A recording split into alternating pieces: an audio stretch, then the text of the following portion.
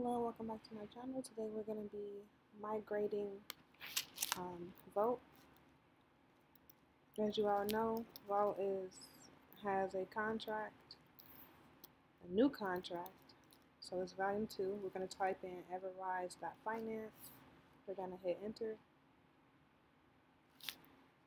And then it's going to bring us to this EverSwap that Volt is on. All right? So all you want to do is hit ever migrate and then once you go there you want to connect your wallet. You can do any ERC 20 um, wallet. So I'm gonna click Coinbase wallet. You can click MetaMask or whatever or you can click Binance but we're gonna be doing it for the Ethereum side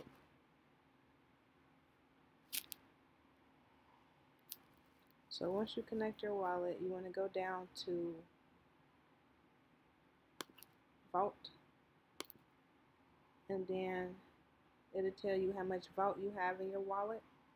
And then if you want to do 25% of your Volt and migrate that, you can. If you want to do maximum amount of Volt, you can.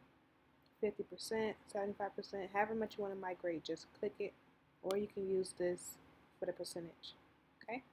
So then you want to go down and you want to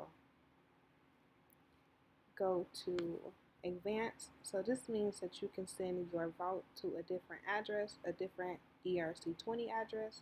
Of course this is for the ERC20 side.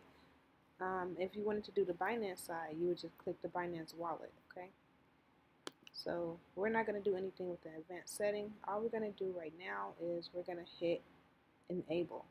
Okay.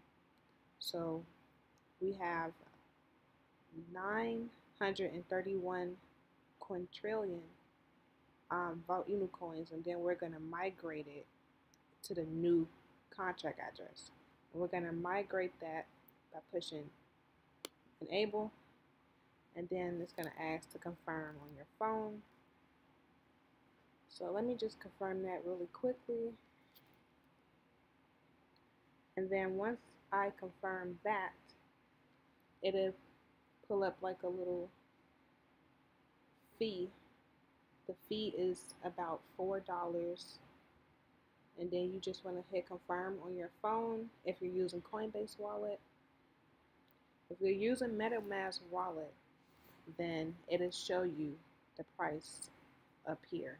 But since I'm using the Coinbase wallet, it showed me the fee of migrating or the fee of the transaction on the phone. So I paid the fee already. And then what you want to do next is migrate. So I'm migrating all of my tokens to the new contract address. Okay. And you just want to hit the migrate button. You want to confirm that on your phone. So let me just go ahead and confirm that on my phone.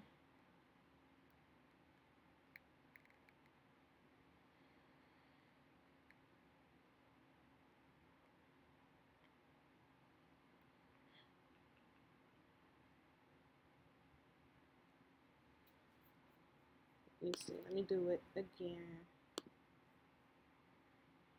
Migrate. Alright, so now the fee for this is about $45.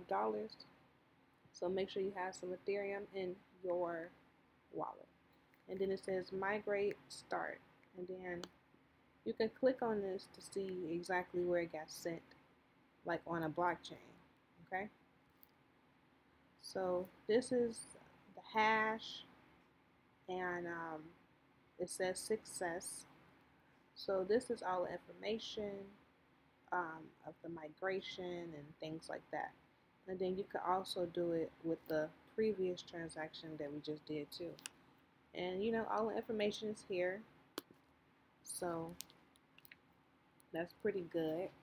Um, so basically, you can also see right here that your wallet migration transactions, it, you know, is right here.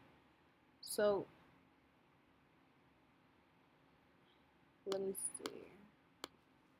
So that's pretty much all that there is. Remember, we had 931 quintillion. During the migration period, um, it goes down to, it converts to 931 million. Okay? The reason why it does that is because the whole reason why they wanted to do a contract change is because they wanted to decrease the amount of tokens. However, it is still at the same value. So if you had a thousand dollars worth of Volt Inu, it would still be worth a thousand dollars. The only thing that's changing is the amount of zeros. So instead of it having septillion tokens of max supply, they narrowed it down. So that's why you're seeing that you only have millions or, you know, hundreds of thousands or billions instead of your trillions, quadrillions, and all that stuff. Okay? So I hope that helped you.